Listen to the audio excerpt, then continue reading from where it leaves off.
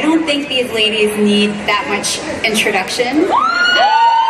Please welcome Kim Kardashian, Kourtney Kardashian, Khloe Kardashian, Kendall Jenner, and Kylie Jenner. You guys can sit down.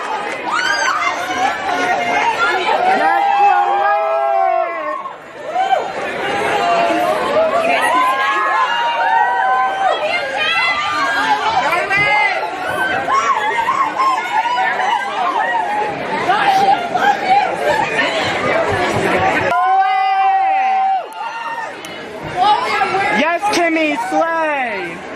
Oh my god. Ladies and gentlemen.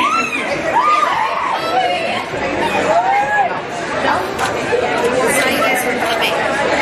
I got so excited when you tweeted. Thank you so much for joining us today. This is awesome. You guys don't. I mean, this is probably pretty unique. You're all so busy. You you don't do many interviews. Just the five of you on stage like this. I don't think we ever have. This is the first time. So, so let's talk about these apps that launched today.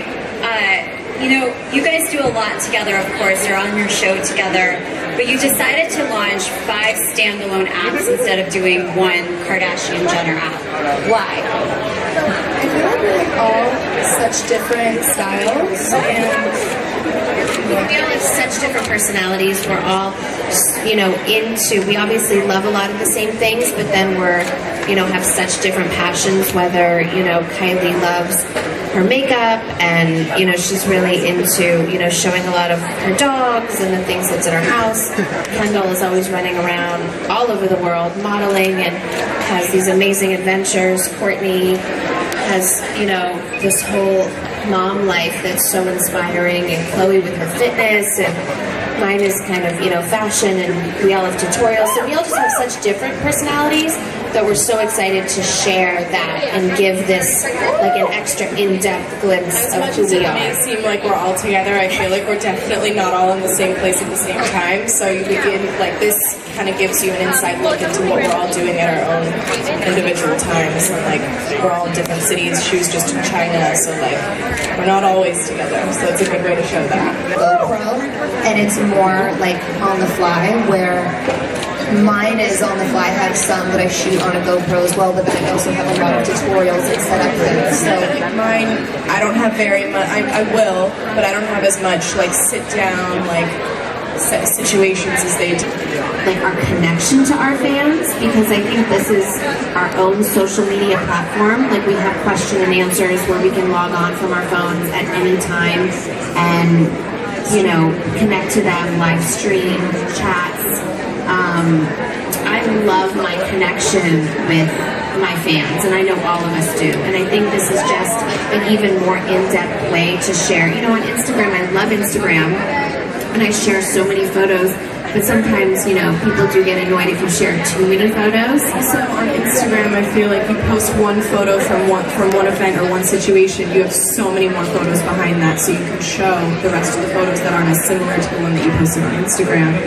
Your descriptions and, and video, and you know, for me on my app, I do. I've done a lot of unique photo shoots just for the site and just for the app.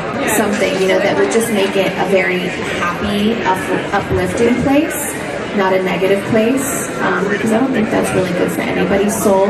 Constructive criticism is always good, but you know that that makes it a little scary when you have a teenager that wants to get into social media, but that's where I would probably look to Kendall and Kylie because they deal with that on a daily basis and they're so good at handling all of that. Um, for every single one of our apps, we want them to be a positive place. And yes, we do want to hear from our fans, that there's going to be a way to do that where things are still filtered because we want to start changing the way of social media and having it be from all positives. And that's why each one of our blogs, we are bringing something good, a take home, a tutorial. I'm sure everyone wants to know about my fitness routines and you get an inside glimpse of that, how to make yourself better mind, body, and soul. Just to write about what we wanted to write about, not really have any restrictions. We kind of make the rules, and you know, whether it's rumors we want to shut down, stories we want to tell, photos we want, like, I just felt like there was no other platform that could do it all.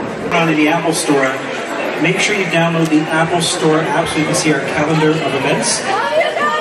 You can to